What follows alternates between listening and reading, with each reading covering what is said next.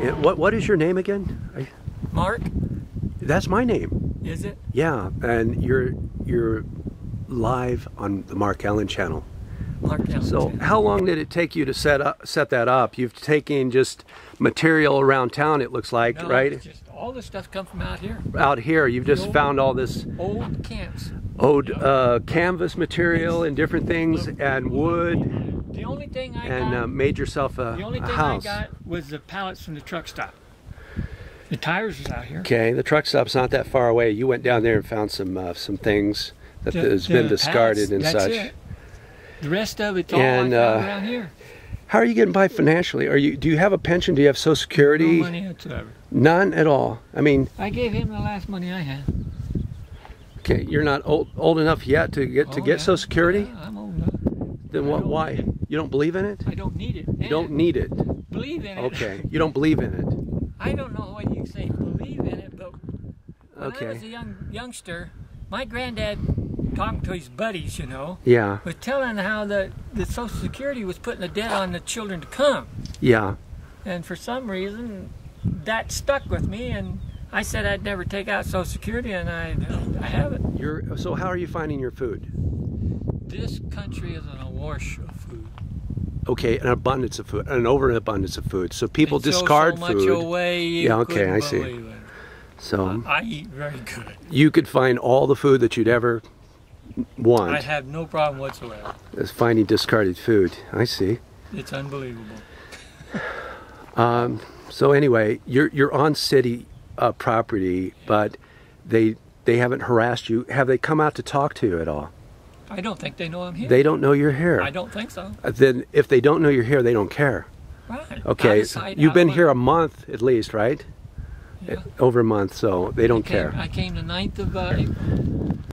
So you're not gonna. Most of all this you won't haul the next time you No, I make a just move, take what I carry. and then you can f- easily find all this again wherever All you go, Wherever I go. and make your own little home. right. and everything you need is here. Wow, right. that's It's always where, I- where I go. It's just something that, it, it- that's why I say it's just everywhere. On the trail, huh? so.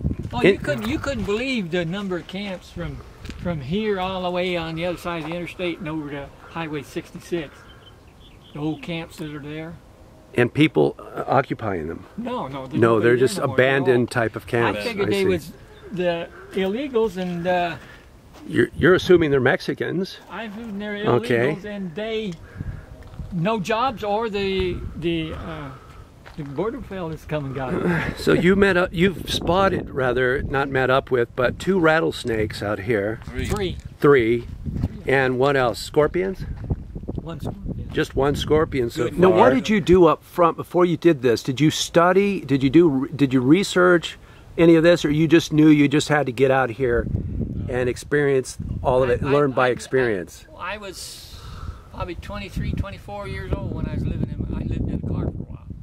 Okay, well, See, lots of youngsters go through that phase where they. I started, Okay. and then then it's always I always thought that the best way to live was like the Indians did.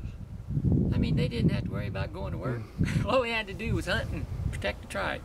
They didn't have to do all that all that stuff that we got to do. So uh, you're gonna, you're not gonna be here much longer.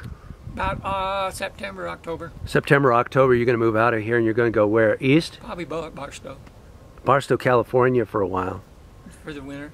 and uh, BLM land out that way Whatever close to the truck stop that they ain't nobody. you'll be there for the full- place like this. through winter time at least. Yeah.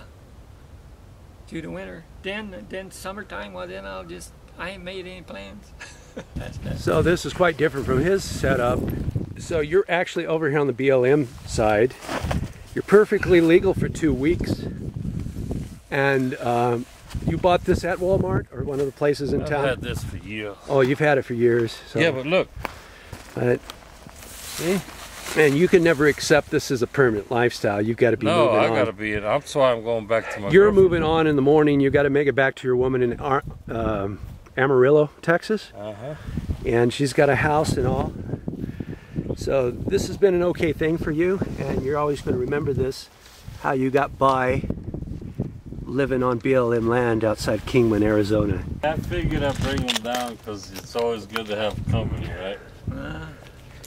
Because when I leave tomorrow, you're gonna still be like, you know, I'll make sure I get that mirror